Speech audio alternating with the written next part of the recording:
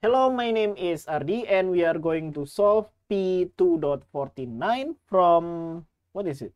Hambley's book. So solve for the node voltages shown in figure P2.49. Then find the values of IS, okay? And we are given there are two nodes here, V1 and V2. And our ground is here. So the voltage here will be zero. However, between these two nodes there is a voltage source so we will need to use a super node okay maybe let's let's mark our super node here which include v1 and v2 okay and this is the super node that we are talking about. That is including v1 and v2 so the green one here, we name it supernode. Okay, and let's assume the direction of the current. Maybe this, let's put this going down. Let's put this going to the right, and this will be also goes to the right, right? And then we also goes this down, and I just follow the arrow here for the current source. So that will be here and there, right? Okay, so we can do KCL at the supernode. Let's do that. KCL at supernode. Okay, and KCL said that the sum of the current that goes in will equal to the sum of the current that goes out. Okay, the sum of the current that goes in the first one is this one and the value of that is 1 then plus we have this current here. Uh, so this is v1 minus v2 divided by 5 yeah this is the current that goes in to the node right? And i don't think there is any more. Okay. Yeah all the other currents is going out so we put the equal sign here. And this current is going out okay? So that is the same. So the current is both going in and going out yeah? And then what is the other current that goes out? This current here which is v1 minus 0 divided by 5 okay? And then plus this current here which is v2 minus 0 divided by okay? This is the same term so this and this will cancel each other. And so we can rewrite this as 1 is equal to this one here v1 divided by 5 and then plus v2 divided by 10 okay let's multiply this by 10 so we will have 10 on the left hand side and then we will have 2v1 plus v2.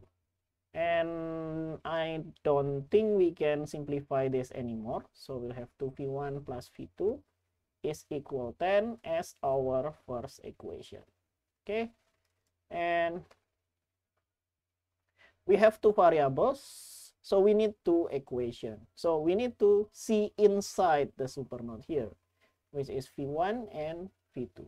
Okay, so inside the supernode, we know that the difference between V1 and V2 is 10 volt. And let's write that. So we will have V1 minus V2 is equal to 10 okay and this is equation number two. Okay we have two equation and two variables. I think we can solve this using elimination.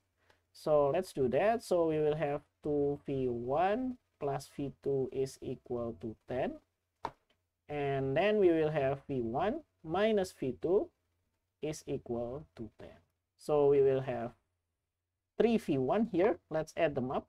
3v1 is equal to 20. So we will have P1 is equal to 6.6 volt. Okay, so we will have the V1 and but V2 is what is it?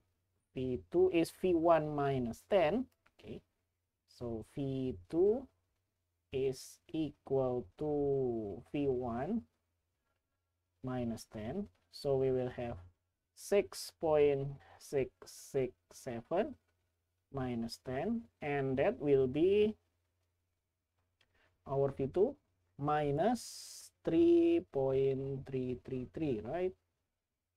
And the unit here will be volt but the question does not ask about V1 or V2 we are asked about the value of IS so we need to find out this IS here. Okay, and to find out that, we can use KCL at V1. Okay, let's do that. KCL at V1. Okay, KCL said that the sum of the current that goes in will equal to the sum of the current that goes out but no current going in from here so that will be zero on the left hand side.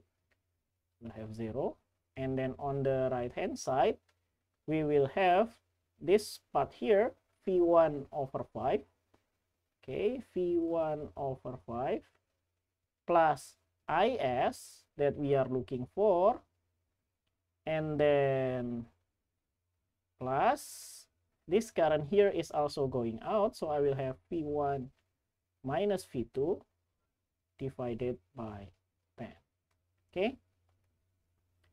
So we will have 0 here and this will be 6.667 divided by 5 plus IS and then plus we will have this one here but V1 minus V2 is 10 so we will have 10 divided by 10.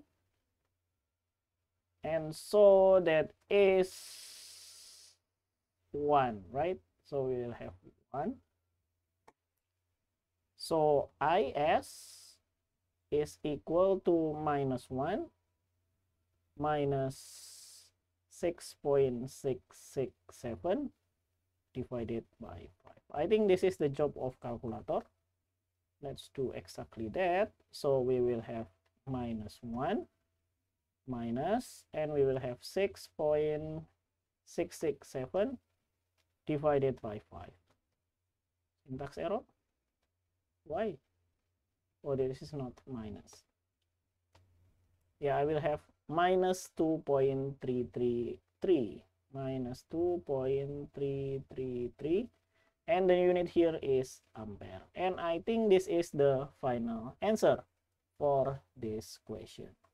Okay i think that's all for problem p2.49 hope this will help you to solve this problem. See you in the next video. Bye bye